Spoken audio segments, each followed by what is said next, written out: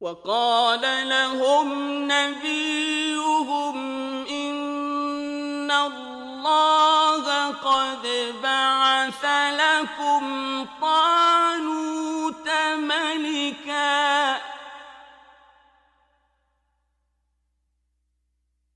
قالوا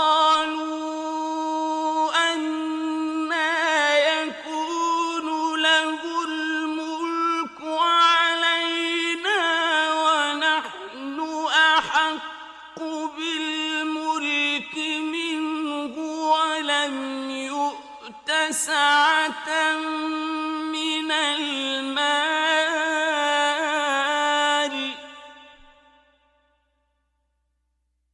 قال إن الله اصطفاه عليكم وزاده بسطة في العلم والجسم يهده من يشاء